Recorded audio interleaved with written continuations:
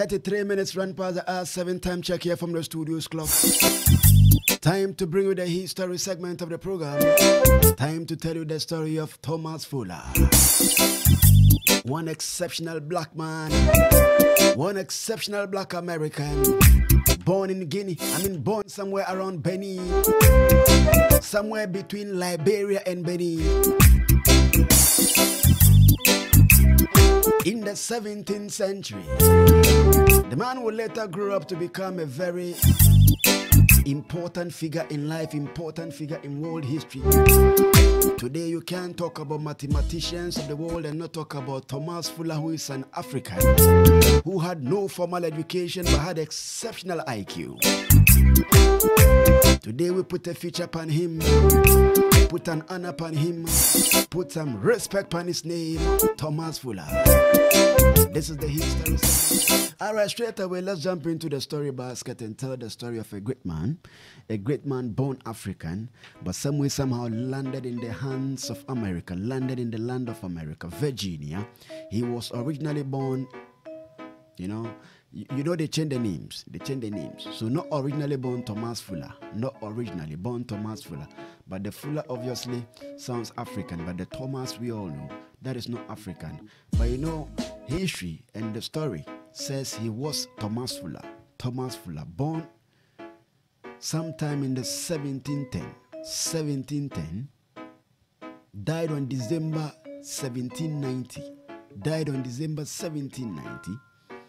He was also known as Negro Tom, Negro Tom, or the Virginia calculator, the Virginia calculator. He was an enslaved African renowned for his mathematical abilities.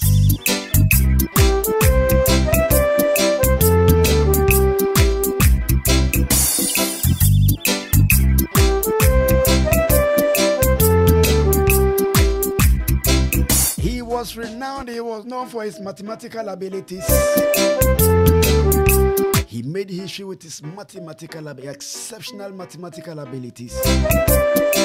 Born in Africa, somewhere between present day Liberia and Benin. He was originally born in Africa, somewhere between present day Liberia and Benin. Fuller was enslaved and shipped to America in 1724 at the age of 14. Only at 14, at the age of 14, he was captured, enslaved, and shipped all the way into America in 1924, eventually becoming the legal property of Presley and Elizabeth Cox of Alexandria, Virginia. Both Fuller and the Coxes were illiterate.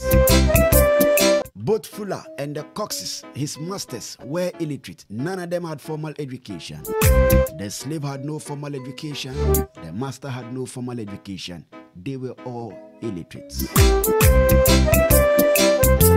The Coxes enslaved 16 people. They enslaved 16 people and appeared to value Fuller the most. They valued Fuller more than all the 16, all the 15. And it was very, very usual. It was very usual of slave masters. They had favorites among the slaves. And I know, let me not liken this to animal rearing. Let me know, even though the way and manner they treated the slaves were just like treating, you know, rearing animals. But you know, for the sake of humanity and for, for the sake of empathy, let me not liken it to that. But even if you have your kid, four, three, five, six, you have a favorite, you have a favorite.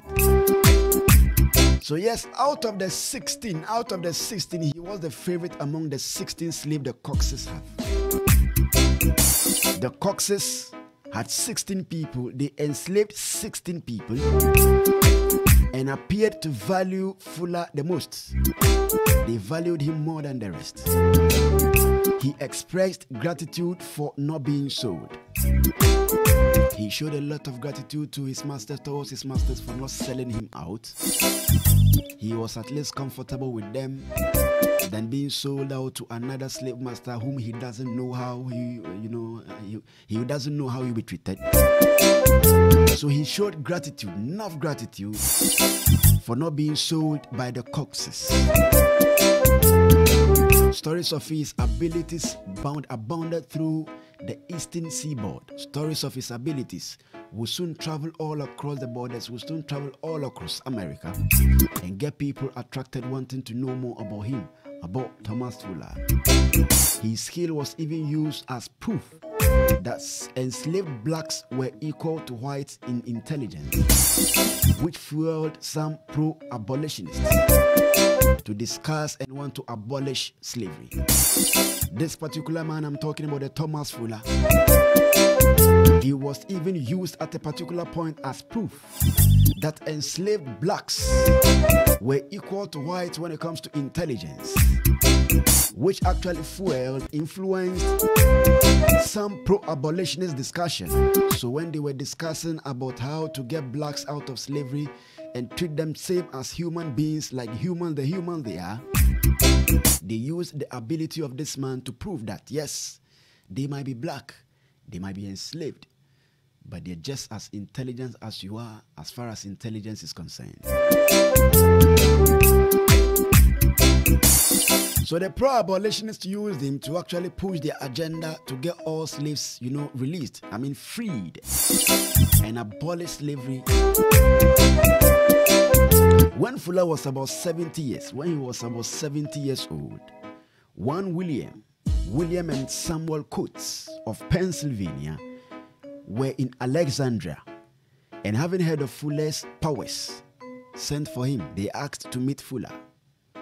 They asked him two questions which satisfied their curiosity.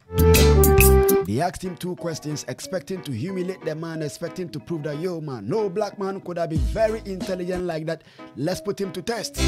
Make we humiliate him.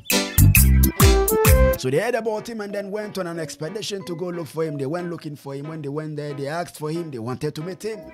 When they met him, they said, Yo, we have heard about you. We have heard you have so much mathematical abilities. All right, let's see about that. They put across two questions to him just to satisfy their curiosity. First, they asked him, How many seconds were there? How many seconds they were in a year and a half, not a year? They did not sum it up, they did not actually sum it up like that, make it easier. So they told him, Yeah, you know, we have a year, divide the year into two. How many seconds do we have in a year and a half? In a year and a half. He, he answered each question in 10 in about 2 minutes. He answered each question in 10 in about 2 minutes. They were shocked. They said, Yo, man, yeah, really, really. There was someone sitting down there confirming, you know, with a pen and paper, actually putting the figures together, putting the, the numbers together to calculate manually. But when they asked Fuller, he had no formal education. He could not even hold a pen, not to talk of write. So, yes, he stood there, closed his eyes, stared at the stars, I mean the sky, and then said, you know, in two minutes, he gave them the answer. Some over 47 seconds, some over 47, 47,304 seconds. He told them, yo, man. In two seconds, in two minutes, he told them it's 47,304 seconds. They asked him the second question. One curiosity saved. They asked him a second question. When they asked him how many seconds a man has lived who is 70 years, 17 days, and 12 hours old. Look at the breakdown. A very complex question. Even if you need a calculator to do this, it is still complex. How much more doing it off head? They asked him. They were set out there to humiliate him. You, you know, the questions they were asking were no ordinary questions. They were asking the question that will humiliate him and then rubbish the fact that the man is mathematically intelligent. So the first question was about seconds, the amount of the number of seconds we have in a year and a half. He gave them the answer in two minutes. They asked him the second one. How many seconds a man has lived who is 70 years, 17 days, and 12 hours old? He answered in a minute and a half, even as complex as that question was. He answered in a minute and a half, not even two minutes, in a minute and a half.